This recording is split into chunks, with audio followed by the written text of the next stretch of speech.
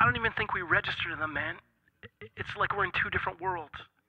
There's this clockwork focused on the whole and, not the pieces. It's it's beautiful, but still, we're egotistical enough to hope that one of them looks up from his work and sees us.